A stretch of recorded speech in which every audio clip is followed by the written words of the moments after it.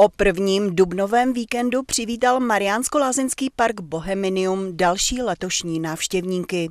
V měsíci dubnu i na celou letošní sezonu chystá zajímavý program pro děti i dospělé. Po dnešním dnu aprílovém, tady sobotním, bude následovat 15. dubna velikonoční divadílko pro děti. 17. dubna je velikonoční pondělí pro všechny dospělé děti. Sobota 29.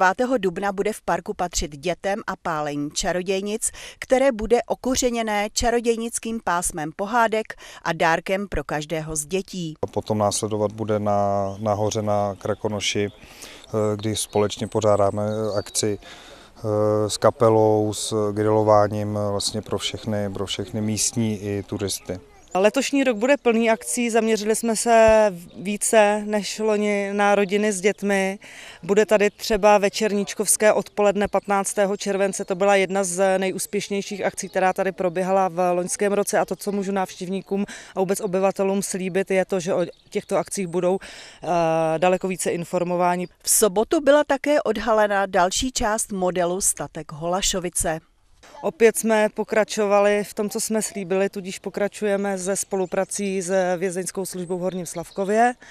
A tímto ta spolupráce nekončí, na letošek jsou připraveny další modely, které už dneska leží v dílně na stole ve věznici, takže to bude velké překvapení.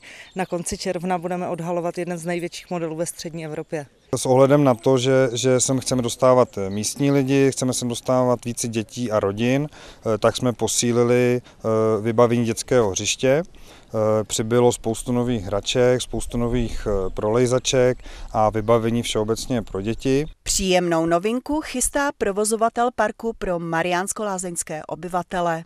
Od dnešního dne, eh, to znamená od prvního čtvrtý, eh, mohou eh, místní občané s kartou Mariánka přijít a získají automaticky slevu 50% jakékoliv vstupné. Sleva bude v platnosti minimálně po celou sezonu. A má to za cíl, aby, aby sem přišli lidi, poseděli tady a mohli tady strávit příjemné odpoledne, případně sem vzali své návštěvy a tak dále a nemuseli platit jako místní plné vstupné. O velikonočním pondělí 17. dubna se můžete těšit například na pletení pomlásky, malování vajíček i na obličej, dětské divadlo z bedny, velikonoční dílničky nebo opékání buštů.